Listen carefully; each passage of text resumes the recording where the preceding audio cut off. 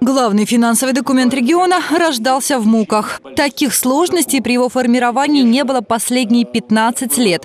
С этого начал свой доклад председатель комитета по бюджету Кабибула Хасаев. Экономическая ситуация непростая, но ни одним обязательством перед жителями поступиться нельзя. Поэтому депутаты и общественники предложили больше 270 поправок, но ни одна из них, замечает Хасаев, не касалась того, как принести доход в бюджет. И над этим стоит поработать. Бонусы в виде трансфертов и так далее получат те, кто сможет разрабатывать и предлагать высокоэффективные проекты, создавать новые рабочие места. В этой связи у нас есть великолепная возможность нарастить экономический потенциал региона, увеличить поступление доходов в бюджет путем создания территории опережающего развития. Хоть и непростой, но социально направленный. Такой бюджет приняли во втором окончательном чтении. Больше половины всех расходов пойдут на здравоохранение, образование, социальную политику, культуру и спорт. На социальную политику направлено на миллиард, на миллиард с лишним больше финансовых средств, э, э, чем, скажем, в 2016 году.